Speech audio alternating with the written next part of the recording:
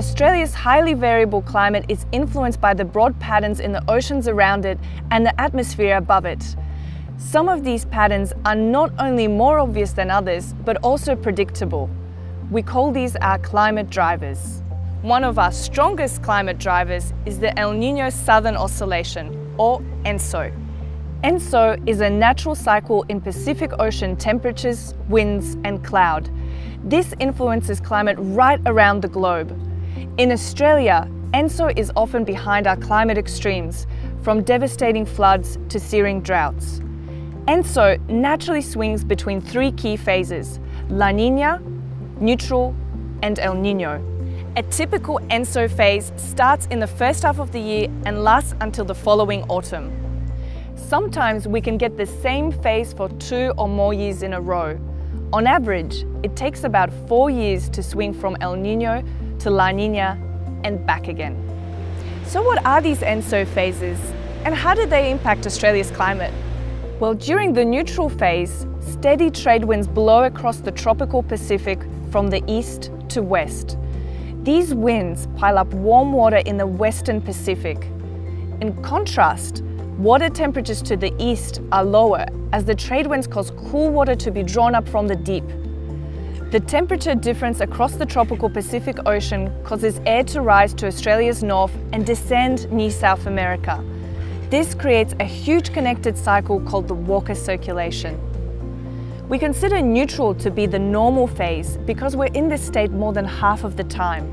While a neutral phase may bring more normal weather to Australia, droughts and floods are certainly still possible. When we move into a La Nina, it's a bit like the neutral phase has gone into overdrive. The trade winds blow harder, expanding the warm pool on the Australian side of the tropical Pacific and cooling the oceans towards South America.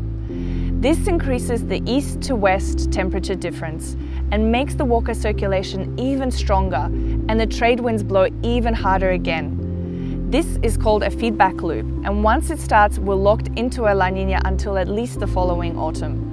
With the higher ocean temperatures, we get greater evaporation, more cloud and more rain in the Western Pacific.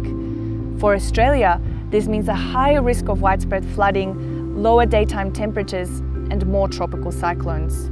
On the other end of the scale, we have El Nino, which is almost the direct opposite of La Nina. During El Nino, the trade winds actually weaken or reverse, allowing warmer waters to drift back towards the east. The change in the ocean temperature patterns mean the Walker circulation breaks down, resulting in even weaker trade winds and even more warming in the east. Once this feedback starts, El Nino has set in. With the warm water shifting east, the evaporation, cloud and rain follows, shifting away from Australia. That means a greater risk of drought for northern and eastern Australia, higher temperatures and more heat waves, clearer nights and a longer frost season, and fewer tropical cyclones. While there are scientific definitions for El Nino and La Nina, in reality, no two events and no two sets of impacts are exactly the same. We also know some impacts will emerge as an ENSO event is developing, and some will persist even if an El Nino or La Nina never fully forms.